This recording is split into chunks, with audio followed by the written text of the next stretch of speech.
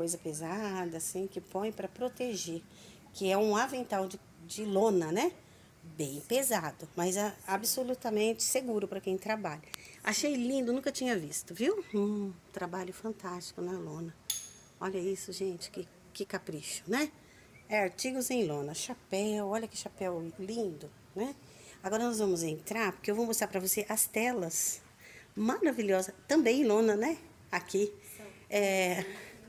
Esse é o artista Jona. Jonas Lemes. aí, ó. Jonas Lemes. Ó, Jonas Lemos é o artista que faz tudo isso, viu, gente? Ó, aprenda a dar valor no artista, no artesão, porque nós somos absolutamente a favor. Aqui desse lado dá para você imaginar tudo que ele fez, não é isso? Sim. Tudo que ele fez, que ele criou, né? Esses são gravuras e quadros. As gravuras são maravilhosas, uma mais linda que a outra. Especialmente, né, os ipês amarelos, os ipês rosas.